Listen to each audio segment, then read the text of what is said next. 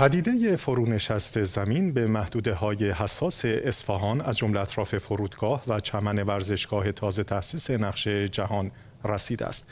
علی بیت اللهی رئیس بخش زلزله شناسی مرکز تحقیقات و شهرسازی این شکاف های نگران کننده را به عدم بالانس در نشست خاک و وجود خاک های واگرا نسبت داد.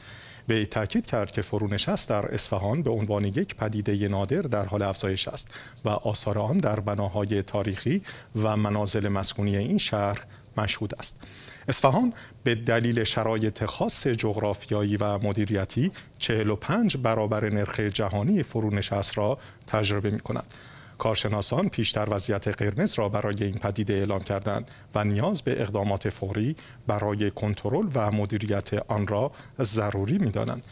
با توجه به اهمیت اصفهان به عنوان یک مرکز تاریخی و فرهنگی، حفظ زیرساختها و جلوگیری از خطرات ناشی از فرونشست زمین باید در اولویت قرار گیرد.